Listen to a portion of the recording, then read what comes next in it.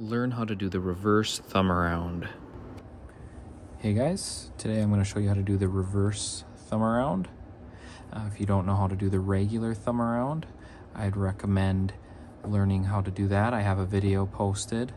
That's a pretty easy and cool move to start with. This is the reverse thumb around. Uh, it's a great move for doing, you know, little combination moves. I would recommend doing that after you learn this first thumb around. So the reverse thumb around, check it out. Uh, basically, you'll hold the pen, like if you're gonna write, and you'll pinch it back over your thumb.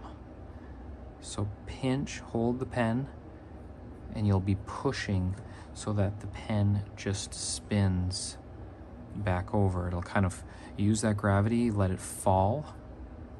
But that's basically what you're doing here is you use that force and push with your finger down.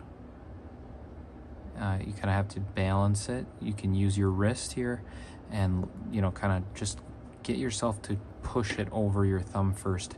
Even if you don't catch it, you'll, you know, you'll drop it a few times. Just learn how to get it over your thumb first. C create that motion. Um, the more you do it, the better you'll get. And then you can kind of, after it goes over your thumb, you can kind of start to catch it. Catch it with your pointer and thumb, or just catch it with your hand. But learn how to do that first. That's very cool, very cool move. Uh, like I said, once you get a little bit better, you can do combination moves. I'll post that in my next video. Check it out and hit that follow.